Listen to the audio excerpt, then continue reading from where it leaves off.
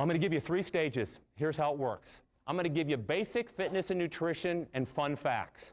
Things that you might find interesting that you can take with you and say, oh, I didn't know that. And you can enjoy that. And then we're going to go with myths, facts, and tips. What's a myth? Here. True. And number three, I'm going to take off the gloves. If anybody wants to stay after we're all done when your questions, I'll give you all of your body types. I'll never tell you not to eat ice cream because you like it. I think you should eat whatever you like, but you have to be un understand what it does. You never tell, I never tell anybody to just completely eliminate fried chicken. If they love fried chicken, just don't eat it four to five days a week, and here's what will happen if you do. Rather, they become selective. They don't stock their house, office, or cars with snacks. Not eating may lead to short-term weight loss. It is long-term planning and execution that leads to long-term health and fitness. When asked, most people don't really enjoy the foods that make them unfit or unhealthy. Rather, food is used to cope with anger, depression, nerves, and stress. Fit and healthy people don't use food as therapy. They don't eat out of boredom. They find other ways to deal with emotion, mental diversion, and there's a couple of suggestions for you. College campuses, the freshman 15 was born off of this right here. You're in a new, your environments have changed. Things are different. When your environment changes, you have to find things that satisfy comfort. And a lot of times it's food. Not all the time, but a lot of time. So we eat. And we don't know what we're eating. And plus, I think you mentioned certain things are only open at 10 or 11 o'clock at night. So you got to plan for it. You have to ask yourself this question. What the hell do you want? You got to ask yourself that question. You're old enough to say, this is what I want. How do you want to look? How many people do you think get up in the morning and say, my God, could I look any hotter than this? Except for you. Daryl is thinking, he's, but you know, you take Daryl out of the room, how many people wake up and say, oh my God, I am frigging hot? Let me get out so people can look at me right here. Look at me. Are you looking? Mm-hmm. That's what I'm saying. Not very many people. Is that arrogant or is that confident? Myth or truth? Eating while watching television is a good way to limit your intake of food because it distracts you and forces a person to slow their eating. Got that question? Just this fall. Hey, I, is, I heard that when you, if you eat while you watch True or false? False. You eat more because you're not aware of what you're eating, so you eat more. All right. Next, I just won't eat. That'll do it. Get this more than you would think. You know, if I want to change my body composition, I want to lose, I just won't eat. Reminder, not eating may lead to short-term weight loss. It is long-term planning and execution that leads to long-term health and fitness. Okay, take a deep breath because you're going to want to remember this. Let's say that I want to lose weight. So I reduce my calories by 500 a day. So at the end of one week, Daryl, are you with me? 7 times 5 would be how many calories if I reduced it by 500? 35 100 calories. Are you with me? Okay. How many calories are in a pound of fat? 3,500. So at the end of one week, I've lost a pound of body fat. Do you follow me? At the end of three weeks, I've lost three pounds. Guess what? It's going to stop. Why? The body's metabolic engine will catch up. True or false? If you're used to eating, if I'm used to eating 3,000 calories a day and I drop it down to 2,500, at the end of three weeks, my body's going to be able to get by just as well on 2,500. So for me to lose weight, I got to drop down another 500. And then at the end of three more weeks, I've lost this. Pretty soon, I'm going to run out of calories, and I'm doing what? I'm starving myself. Heard of that? And then it just stops.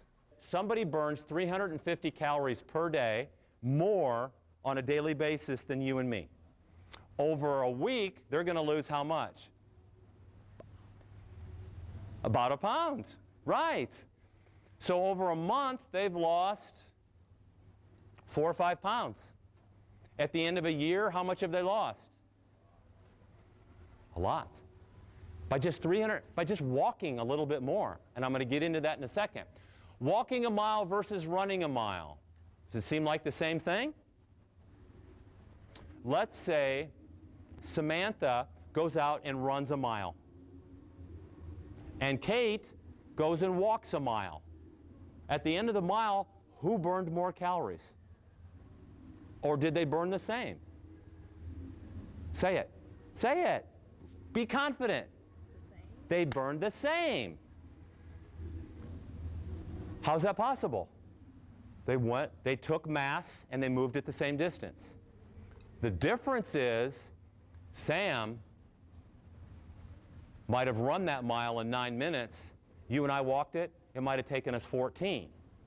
So she burned more calories per minute, but at the end, we burned the same amount of calories. So is walking good for you? Extraordinarily good for you. Yes, Kate? I'm not trying to take away from walking because I understand that you can burn the same amount of calories walking a mile versus running. But in the long run, if you run a mile, your basal metabolic rate will increase. and Go up dramatically. Event, like after you continue working out, whereas walking, you never actually your heart rate up. Correct. So what you burn in that mile is what you burn in that mile. Whereas in running, you can burn that in a mile, but you in your heart rate is. She's going through a she's going through a really cool phenomenon that at the end if you want it, I'll tell you all about it. She's talking about basal metabolic rate. She's talking about the burn. Let's say that we went and ran hard for 6 miles. Okay? And Kate took this crew and they went out and walked for 6 miles. We ran 6 miles. Our think of your body as a furnace. Like it's hot and it's burning really hot. Well, it takes a lot longer to come down. So we're burning many more calories post exercise throughout the day than Kate's group of walkers. I'm busy, I'm young, I can sacrifice sleep. It's a college campus. I hear this all the time. I'm busy, I'm young, I don't, I don't have time to sleep.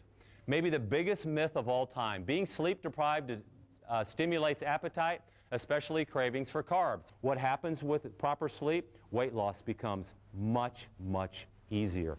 Very rare that you find somebody that's sleep deprived and successfully changes their body composition. It's too hard to do because the hormones aren't working correctly to allow it to happen. Most people who have lost weight and kept it off uh, weigh themselves once a week. A gain of two to three pounds motivates them to shift into an action plan. If you're going to weigh yourself, I do not weigh myself.